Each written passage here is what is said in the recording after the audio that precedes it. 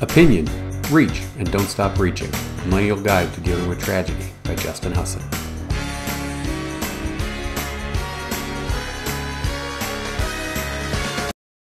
In today's world, we are seemingly dealing with an unwavering amount of global tragedy. From weather catastrophes, deadly plagues, and corrupt leaders, it seems our world is full of gloom and doom. But, historically, our planet has always been dealing with catastrophic events, and each generation has dealt with those tragedies in different ways. Before the Industrial Revolution, mythology and faith were the driving forces that helped the people of the world process and digest what was going on around them. But we live in an age of mechanics and science, where faith and myth does not always do the trick. So, how have recent generations coped with the stress of life?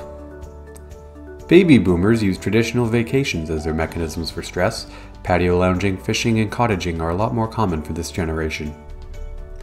Gen Xers took on the party lifestyle to cope.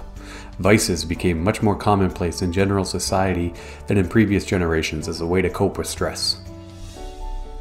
And then there's millennials. Millennials are the nostalgic generation, often turning to media from their childhood and supporting revivals and comeback tours. But why is this? Nostalgia has always existed in people who yearn for the carefree days of their childhood, but when and how did an entire generation fall back on this state of mind to help them deal with the harsh realities of our world? Millennials, or the first digital natives, grew up in a different world than other generations. With the advancements of the internet and in turn social media, this generation was the first to see the world live right from their fingertips. This access came with many advantages, but also came with some consequences. What to do when you're a 16 year old kid and you can pull up footage of bombs going off in hospitals filled with bodies, all on your lunch break from English class. Millennials are not just the only generation who watched the current regime of social media come to be, but helped it come to be.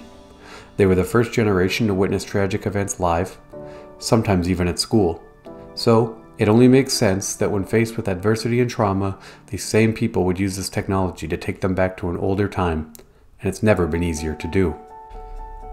One search on YouTube and you're listening to your favorite Britney, Christina, or Beyonce song, or jamming out to Jimmy Eat World or No Doubt, or rapping alongside Dr. Dre and Jay Z, or remembering your dance moves while turning into one of the many boy bands of the time. And because millennials helped set up this system, they know how to use it well and do so every chance they get, making them the most nostalgic generation on the planet. But this is no accident. Cognitive therapy is quite common as a tool for stress and used in a variety of ways. The use of nostalgia to do this is not new at all, but never been more common among an entire generation.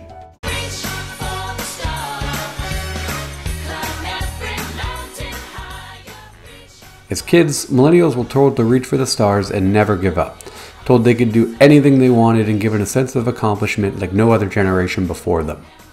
Now, they are using these same elements to help them survive through a world that is seemingly always in peril what could only be described as a natural evolution of their inspirational millennial culture. How do you cope with stress? For more information on stress and mental health, please visit the following links.